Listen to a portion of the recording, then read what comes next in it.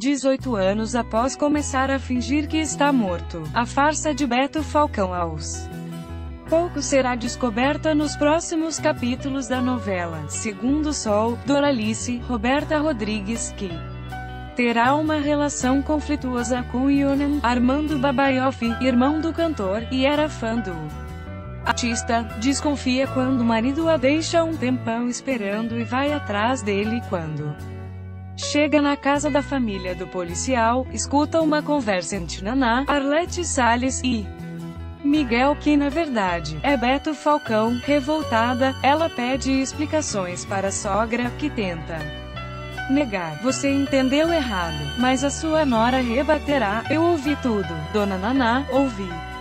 Ele dizer com todas as letras, as informações são do site Observatório da Televisão, a cena está prevista para ir ao ar dia 31, é isso mesmo, Doralice, eu sou.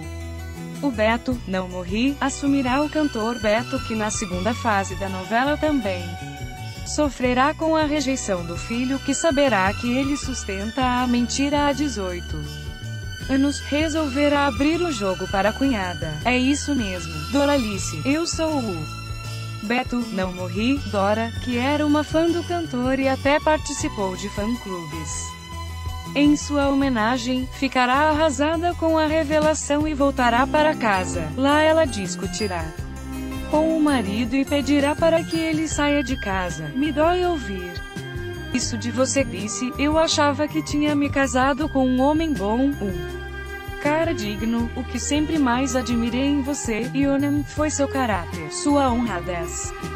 E agora descubro que você foi capaz de mentir para mim todo esse tempo, de ser cúmplice dessa malandragem toda, de ludibriar um monte de gente de boa fé, eu não sei mais quem é esse homem com quem me casei, vá embora daqui, vá.